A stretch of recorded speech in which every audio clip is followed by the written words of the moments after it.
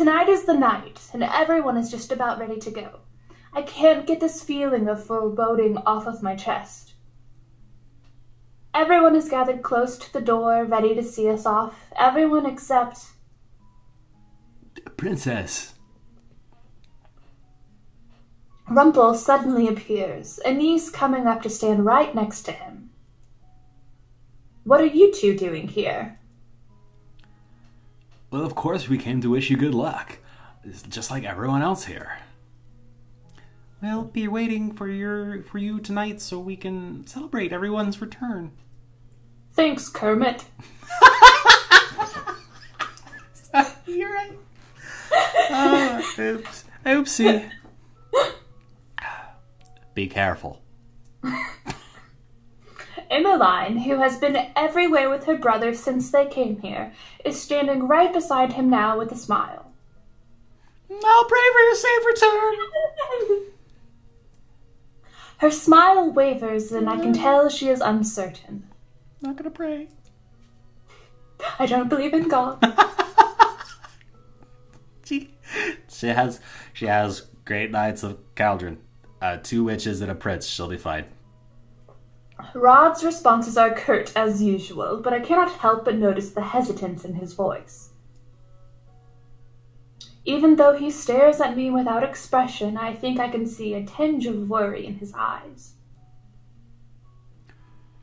Rest assured that we will keep this princess safe. We're not going to let Alcaster get away with what he did to Angielle and his royal family. Parfait steps forward last. She and Delora glance at each other, and I feel as if some secret message bounces between the two of them. Delora nods ever so slightly before Parfait turns to the rest of us. Her eyes eventually fall on me. You've changed since you've been here, Princess, but your dedication and resolve never wavers. It has always been there, just beneath the surface. Stubbornness or resolve?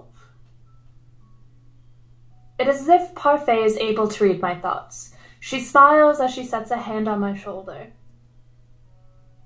Your dedication is very much like King Gennaro's.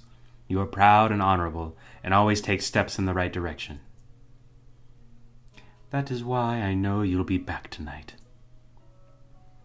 Just as Rumple said, we'll be waiting for you, all of you. Stay safe tonight. I nod my head as everyone gathered around begins to repeat their hearty goodbyes.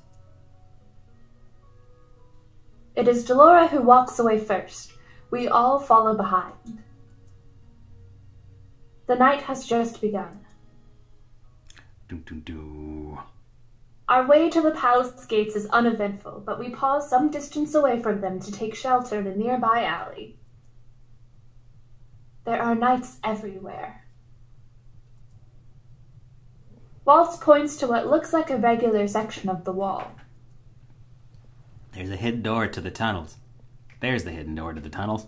If we time it right between the night's patrols, we should be able to make it. On my signal.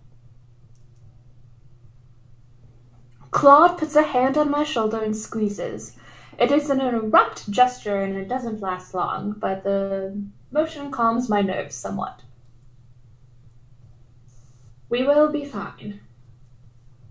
Ooh, Scary. new locations.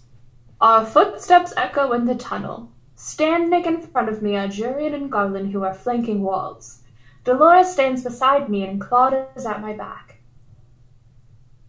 This small tunnel makes it seem like we brought a lot of people. This way.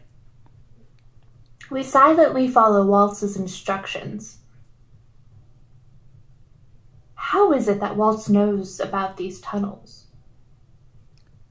I've already taken into account the guards and where they might be positioned based on Prince Rod's information. We should all be all right.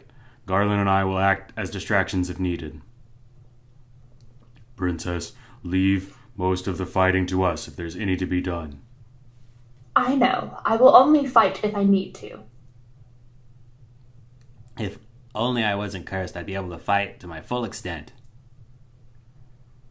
I think you're still quite capable without all your magic. Without all your magic, puppeteer. Hmm. Oh, a compliment? It's an honor, Miss Karma. I'm only in this dress because of Jurian, you know. Jurian crosses her arms and cocks an eyebrow at Claude. I wouldn't fall in love with you, no matter what you say. What? Oh, because of the curse. hey, that's his yeah, curse. My bad. Gotcha. Gotcha. That's what they all say. We're here. Suddenly. Oh, Suddenly, oh, that's. Oh, goes quiet. I'm sorry. Please continue. I got excited. Suddenly, everyone goes quiet, including Brandon. I'm sorry. I feel a lot heavier as I stare at the staircase in front of me.